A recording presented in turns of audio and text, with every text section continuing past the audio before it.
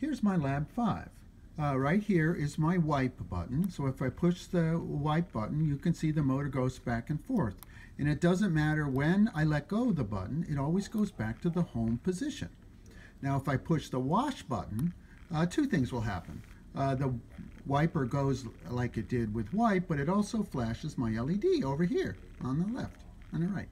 Okay, so those are the two aspects we have to do. And again, it doesn't matter uh, when I let go of the button, you see my stepper motor goes back to the original spot.